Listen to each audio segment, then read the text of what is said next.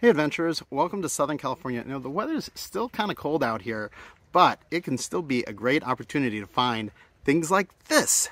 This is a California newt and creeks and streams like this all throughout California can be great places to find newts. So here's one and I, I uh, you know, if there's one, there's probably more. So let's keep looking and see what else we can find today.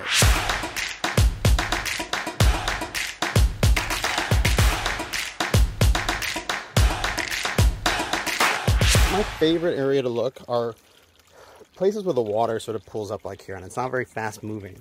Um, you know, they can be in faster streams, but I rarely see them like that. And in fact, there is another newt in here. I still have the first one in my hand, but there's another one in the water there. If you can, can make it out. Areas like this uh, are probably going to be really abundant and thick with newts just in a couple months. It's really, really early for them. We've had a lot of rain, but these guys in Southern California like to breed more like in uh, March and April. And so I usually see the height of them uh, that time of year. So, but, you know, there's not really a chance for snakes today. It's still pretty cold. I mean, I guess we could find one, but uh, salamanders are generally pretty abundant. So I'm really glad that we found these little guys.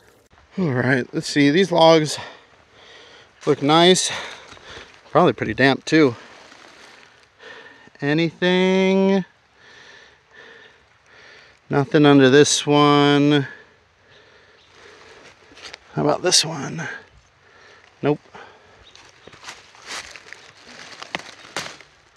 Oh, here we go. That is a slender salamander. Very cool. Oops. Let me grab him. There we go. Now out here, the only slender salamander is the black-bellied slender salamander. Uh, they are one of probably one of the most common things we show on the channel because they're pretty ubiquitous and they have a really large range. But really nice to see another one under a log here. Um, yeah, but we won't we won't take a much of a look at this guy since we see them all the time. So time to put them back and uh, see if there's anything else to find. All right, let's put you right back where you were. Right there. There we go. You can dig underneath there. Nice. Oh, now you can see him. There he goes. He'll find a new spot to hang out. Very, very cool. All right, Zeev just flipped us handful of more slender salamanders. Yeah. Uh, yeah. Two, three, four, and five. That is a pretty impressive, uh, pretty pretty impressive Six- flips. Six right here. Oh wow, yeah, one. Uh, you just see the tail sticking out there. Who knows? There might even be another one that we uh, we didn't see. But this one's got some nice red color on it. Um, th this guy just jumped in front of me.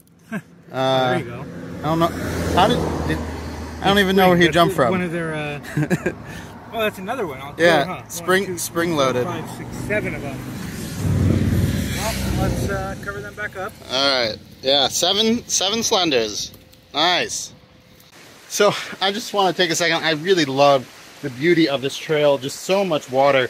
Now this isn't going to stay like this all year round. It's the winter time. We had a lot of rain, and so most of the time, I would imagine that this is probably pretty dry. But just look at how beautiful this is. Just a really gorgeous landscape in this canyon and uh, yeah I think I think we picked a good trail to, to enjoy today so hopefully we'll find some more stuff and, uh, and we'll get back to searching all right Tatiana is holding another uh, another newt uh, these guys are, are really sta- just starting to show up uh, and hopefully in a couple months they'll be here in big numbers but another uh, another good find for uh, for winter herping in California. Hey, so we've moved to a different spot, a bit higher in elevation, and I just found an endemic to the San Gabriel Mountains. This little salamander here. Check it out. That right there is a San Gabriel slender salamander. and they're only found in the higher elevations in the San Gabriel Mountains. And one of the cool things is like this salamander was only first described in 96. And really, there's a lot of research being done in salamanders, and new species are being described every year. So cool to see this little guy. I'm next, right next to the road. You can tell it's kind of loud. Hopefully, the audio comes out cool. But San Gabriel Slender Salamander, a lifer for me. Very, very exciting. Definitely a tough one to find because you got to be in the just the right habitat for it. But let's keep looking. All right, check it out. Here we go. Just flipped another San Gabriel Slender Salamander. Check it out. This one is pretty beefy too. A great specimen. Uh, hopefully you can hear me over the cars uh, that are on the road nearby. It's kind of a busy street, but this is definitely what I was hoping to see. So, like, yeah, this is a full-grown one and it is exciting. A lot, a lot better look than that little tiny one we had earlier. Excellent. All right. Time for him to go back right where he came from. Bye-bye. Stay safe. So winter herping can be a little tough in Southern California, but I think we did all right. We got some major salamanders and some newts on our list, and that was great.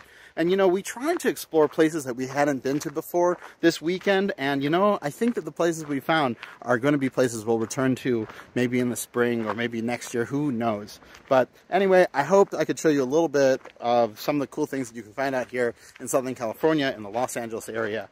I'm Greg Schechter, this is Schechter Natural History, and I'll see you in the field.